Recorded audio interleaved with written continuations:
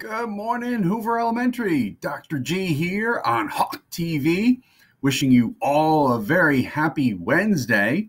At this time, please stand for the pledge.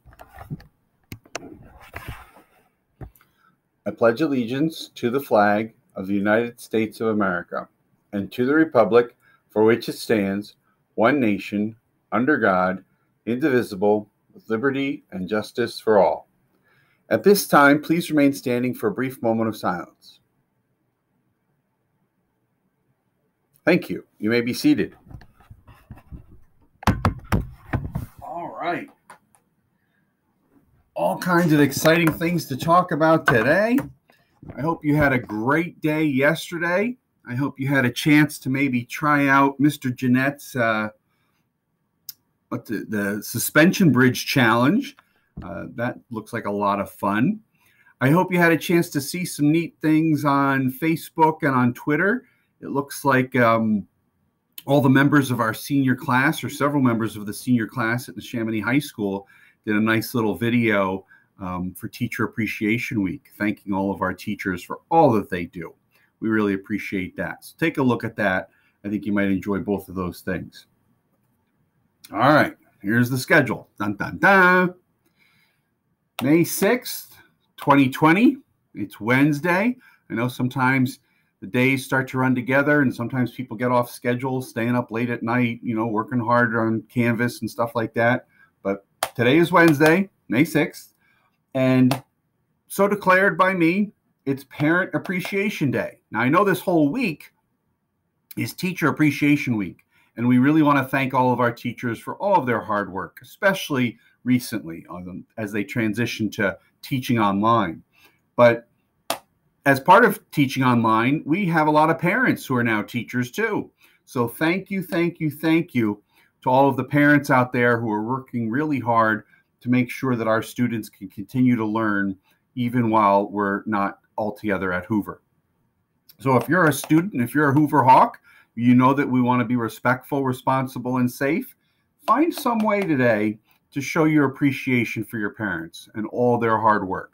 Maybe if they ask you to sit down and work on Canvas, you'll just smile and say, Of course, mom. Of course, dad. No problem. Uh, maybe you'll make them breakfast in bed.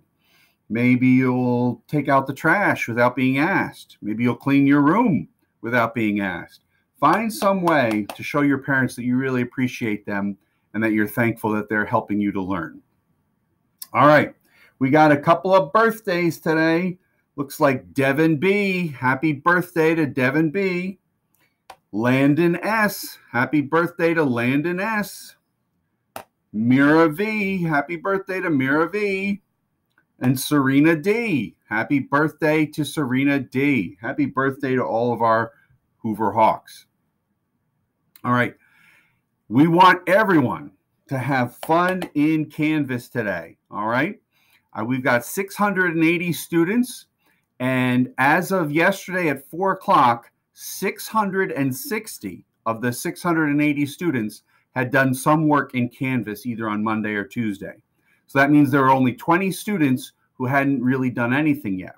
So if you're one of those 20 students who haven't had a chance, we want you to try and do something today. We know that some people work at night. We know that some people work on the weekends, and that's okay. But our goal is to leave no Hoover Hawks behind. We want all of our Hoover Hawks to be ready for next year. And the only way you're going to be ready for next year is if you do your work in Canvas. So please, please, please keep working in Canvas. And remember, if you do a nice job, if you work hard in Canvas, you're eligible for the raffle. You can earn an Amazon gift card. You can get yourself a toy, you can get yourself a book, you can get yourself a game. Could be a lot of fun. I also noticed, you know, Canvas is just a, a way to learn. It's not it's not a specific um, learning strategy. In other words, there are different ways you can use Canvas, and our teachers are getting better and better and better at finding fun and engaging ways to make Canvas exciting. So I was looking through yesterday. Mr. Bursk was doing a really neat lesson on tone, on light and dark, that was really cool. I learned a lot from him. You might want to check that out if you haven't checked that out yet. I noticed a lot of neat things happening in our science classes. I think in kindergarten, they're learning about weather. Did you see the video with uh, Miss Ballard? And she went outside and she had her dog, and the wind was blowing, her hair was blowing. And now we've got some uh, kindergartners who think they are um, newscasters and they're creating weather reports, videos. That's really cool. That's really engaging. I love it. I think in third grade, for two weeks now, they've been doing some Kahoots. And I love Kahoots, but I didn't realize that if you put a Kahoot in Canvas, even if you're by yourself playing, it's almost like online gaming you could actually be playing against your friends. You could be playing against other people in your class, even if they're playing at different times. So, really check that out if you're a third grader, science. And of course, in fourth grade, I think there was another episode of The Science Girls, The Science Girls. They are amazing. You got to take a look at that. And many folks are still learning about states of matter, solids, liquids, and gases that's really cool. That reminds me of like Star Trek stuff, you know, like how do you take something that's a liquid and transform it magically into a solid? I'll give you a hint. If you had water and you put it in the freezer, it might become a solid. And then how do you make it a gas? And how do you go back and forth? Really neat stuff. All right. Like I said, today is Parent Appreciation Day. So we appreciate all the hard work of our parents who are acting right now as parents and as teachers. And this whole week is Teacher Appreciation Week. So if you haven't yet had a chance to thank your teacher or thank a former teacher, you might want to do that. But today, Wednesday, is also National School Nurse Day. So if Miss White, our wonderful dedicated school nurse, has ever helped you, if she's ever given you a band aid, if she's ever helped you when you fell on the playground, if she's ever helped you with some medicine or if she's ever helped you when you weren't feeling well. You might want to send a shout out to Miss White today. Maybe send her an email, post something on Facebook, post something on Twitter. Just let Miss White know how much we appreciate all of her hard work. All right.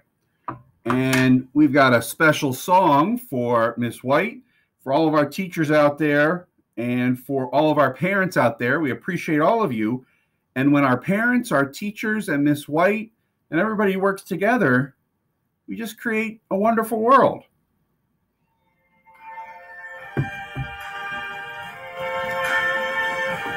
I see trees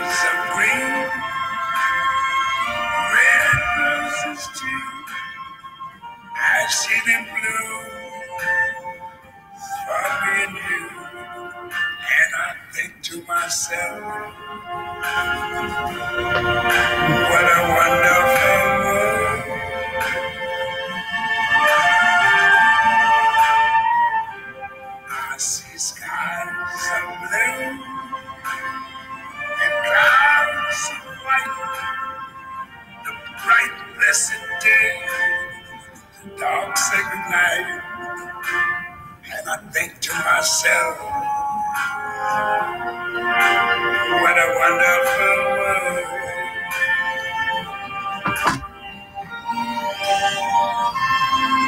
Thank you, thank you, thank you, parents, teachers, and Miss White for making it a wonderful world for our students, both at Hoover and at home and on campus. Have a great day, everybody.